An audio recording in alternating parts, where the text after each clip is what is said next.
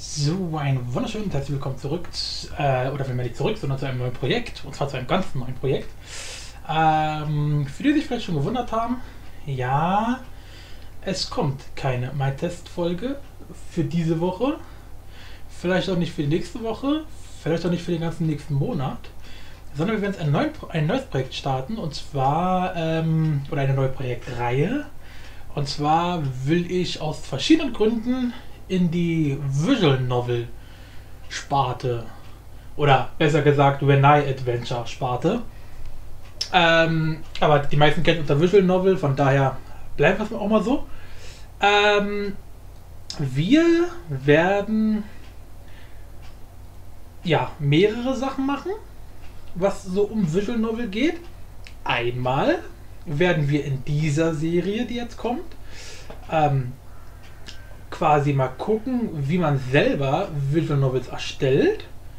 Dann werde ich auch noch in separaten Videos Visual Novels spielen und vielleicht, wenn ich irgendwann mal viel, viel Langeweile habe, werden wir auch mal so eine ganz einfache, simple Visual Novel Engine erstellen. Vielleicht in C, vielleicht in Pure Basic. Aber das ist noch in den Sternen. Erstmal, wie gesagt, ähm, möchte ich quasi ins ja, Game Development einsteigen, ein bisschen. Und zwar relativ simpel. Mit Visual Novels. Und ähm, für die, die nicht wissen, was Visual Novels sind, Visual Novels sind Spiele, die aussehen wie das. Ja, man hat Text, man hat Screen, man klickt sich durch die Textphasen und äh, das war's. Etwas schöneres Beispiel ist das hier. Und ein Beispiel, das wahrscheinlich jeder kennt, ist Doki Doki Literature Club. Das Spiel sollte eigentlich jeder kennen. Davon gehe ich einfach mal, gehe ich einfach mal aus. Ähm, das sind wie gesagt Visual Novels, eigentlich eher Benai Adventure. Was der Unterschied da ist, ist eigentlich relativ sinnfrei jetzt zu wissen. Das Schöne ist bei diesen Spielen, man kann jetzt relativ sel selber äh, simpel selber erstellen. Ähm, und zwar gibt es quasi eine Spiele-Engine. Also es gibt mehrere, aber die, auf die wir uns jetzt konzentrieren werden, ist eine, die heißt Renpai. Anlehnung an den Originalnamen Renai, nur halt, es basiert intern auf Python, ist egal, ähm, also auf Python, ist egal. Ähm, auf jeden Fall diese Engine zu finden unter renpai.org ähm, ist Open Source. Mit dieser Engine können wir quasi so eine Spiele erstellen.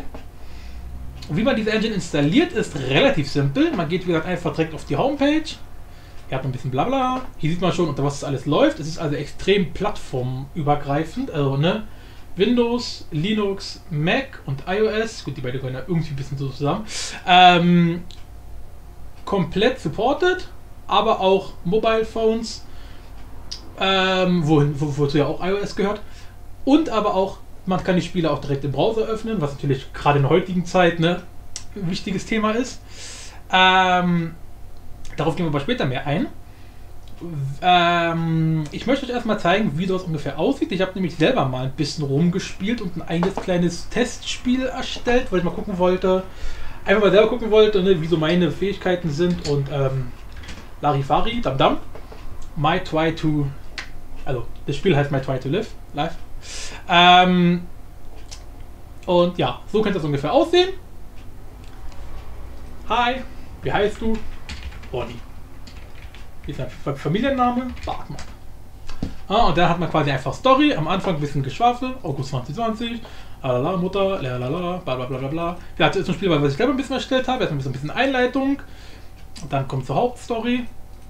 Ähm, dann hat man ein bisschen Auswahl. Ne? Es, es, gibt mehrere Arten, wie man Visual Novels erstellen kann. Auch darauf werde ich eingehen.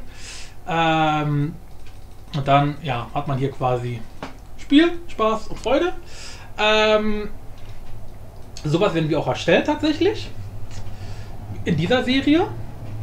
Ähm, und wie gesagt, wir werden auch Light, Light, Novels in Deutsch auch spielen.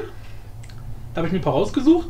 Keine Ahnung, wie die sind. Ich habe einfach ein paar gesucht, die ne, unter, äh, unter Itch, ähm, unter. Ja doch, Itch.io. Also hier, kennt, kennt wahrscheinlich jeder. Äh, das Ding hier. itch.io und da gibt es halt auch diverse Spiele, also halt Visual Novels. da habe ich mir halt ein paar rausgesucht, die so in die Kategorie äh, Deutsch passen. Ja. So, wie gesagt, zuallererst, wenn man hiermit loslegen möchte, mit Visual Novels erstellen, dann, wie gesagt, einfach Seite besuchen und auf Downloads gehen. Und dann hat man hier mehrere Auswahlmöglichkeiten. Normalerweise das, was man selber braucht, ist grün hinterlegt. Das heißt, ich persönlich habe Linux. Das heißt, mir wird die Linux-Variante empfohlen. Für die, die Mac haben, da ist dann das hier grün. Die brauchen auch das. Und die, die Windows haben, da ist dann das hier grün und die brauchen auch das. Ne? Also immer das nehmen, was grün ist. Ähm, ich werde es erstmal für Windows erklären, weil die meisten wahrscheinlich Windows nutzen und werde dann auf die Linux-Variante eingehen und wir werden natürlich auch mit der Linux-Variante arbeiten, klar. Ähm, das heißt, für alle, die die Windows haben, ne, die klicken einfach hier rauf. Dann wird ein Download gestartet. Am Ende hat man dann im Download-Ordner eine solche Datei. Äh, Wenpai blablabla sdk.7zip.exe. Sehr verwirrender Name, beziehungsweise unter Windows wird ja die Erweiterung meistens nicht mit angezeigt. Da sieht dann die Datei ungefähr so hier aus, also .7zip. Ähm, ist aber auch egal. Auf jeden Fall hat man dann eine neue Datei. Die öffnet man einfach, ne? einfach starten und sagt dann auf Extrahieren. Und schon hat man quasi, ne, ist also ein, ein sogenanntes selbst extrahierendes Archiv. Äh, ja. Und dann hat man einen entsprechenden Ordner. Und in diesem Ordner braucht man bloß diese Datei öffnen, also die, dieses Programm starten. Unter Linux geht das Ganze noch viel einfacher. Ähm, da kann man es natürlich auch klassisch downloaden, wie gesagt. Aber ähm, es gibt eine elegantere Möglichkeit, möchte ich sagen. Und zwar ist Vampire so Open Source und so bekannt und so gut, möchte ich jetzt einfach mal sagen, äh, dass es sogar bei den meisten Repositories direkt mit drin ist. Also ich kann jetzt nur für Debian sprechen, aber bei Debian zum Beispiel ist es mit drin. Das heißt, man kann einfach sudo apt ja install und dann vielleicht ein bisschen größer machen hier. Ähm, so, oh, komm mal, wir bisschen, oh, wir ein bisschen größer hier, ein bisschen, bisschen äh, oh, da.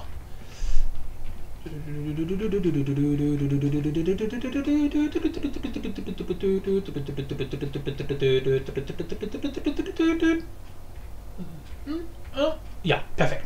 So, sudo apt install und dann einfach wenpy. Das war's. Enter drücken und ähm, ich bin so ein Genie. Danke. So, sudo apt install wenpy und dann äh, hat man alles, was man braucht. So, wir brauchen natürlich nicht. Ich, ich, ich habe natürlich schon, schon installiert. Ähm, Dankeschön. Oh mein Gott. Oh mein Gott. So, ähm, Rede gar keinen Sinn. Genau. Das ist wie gesagt das, was wir ähm, ne? unter Linux kann man das ganz einfach installieren. Man kann sich auch diese Datei downloaden und die entpacken. Dann hat man eine ähnliche Struktur wie diese und kann dann quasi einfach Terminal öffnen und sagen, weiß nicht, Bash oder man kann die direkt ausführen, Slash und dann sieht man hier wenpy.sh. Ne? Kann man auch machen. Aber ich würde natürlich immer empfehlen, direkt über die Repositories das zu machen. Also bei Debian halt unter apt, unter Ubuntu, ne, Paketmanager, da mal WenPy eingeben. Ich weiß nicht, ob es da verfügbar ist. Wenn ja, darüber installieren. Easy. Ähm, und dann hat man quasi WenPy an sich schon installiert. Weiterführend würde ich für Linux auch noch empfehlen, ähm, es ist auch schon mit drin, ne, wenn man es hier hat, gibt es hier ein Paket, das heißt The Question und Tutorial. Ähm, unter Debian kann man das separat installieren mittels Demo. Und das ist dann quasi ein Demospiel, wo quasi, ähm, ja, wo so die RenPy Engine erklärt wird mit der RenPy Engine. Also ist quasi ein spielliches Beibringen der Engine. Ähm, das werden wir auch nutzen. Vielleicht, mal gucken. Zumindest, zumindest werden wir mal ab und zu mal reinschauen. Ähm, genau. Damit haben wir quasi die Engine installiert. Und die Engine aussehen tut dann zum Beispiel, äh, wenn wir einfach mal WenPy starten. Dauert ein bisschen, weil wie gesagt, das ganze Ding ist in Python programmiert. Ähm, für die, die nicht wissen, was Python ist, ist eine Programmiersprache. Für die, die, für die, die nicht wissen, was eine Programmiersprache ist, es ist technisch gesehen scheißegal. Es braucht halt ein bisschen. So, da ist es. Äh, so sieht es standardmäßig aus. Ähm, und wie gesagt, standardmäßig hat man hier zwei Dinge. Einmal The Question und einmal Tutorial. Ähm, und ja, da kann man eigentlich an der Stelle auch schon direkt loslegen, hier ein bisschen rumzutesten. Man kann, wie gesagt, einfach auf The Question klicken. Unter werden wir gesagt, WenPy-Demo noch installieren. Das ist nämlich genau das Ding hier. Beziehungsweise nicht, stimmt gar nicht, das ist das hier oben. Ähm, The Question ist sowieso schon vorinstalliert. So, und dann auf, einfach auf Projekt starten. Und schon hat man quasi sein erstes kleines Projekt. Bitte haben Sie etwas Geduld. Es kommt gleich. Tada! So. Da hat man hier, wie gesagt, ein kleines Beispielspiel. Hier hat man schon ein bisschen, ne? Wie gesagt, wie, wie, wie, ein Visual Novel an sich funktioniert, muss ich hoffentlich nicht erklären.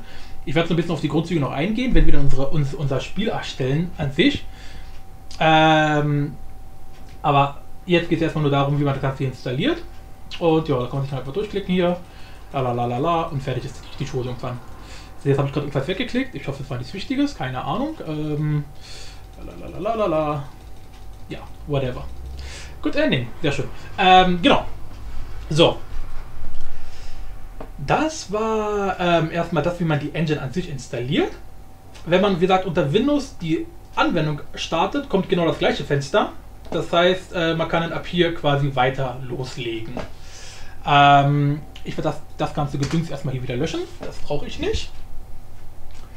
Ähm, so, und wenn man denn bei dem Punkt ist, dann geht es quasi eigentlich dann los mit dem eigentlichen Spiel erstellen.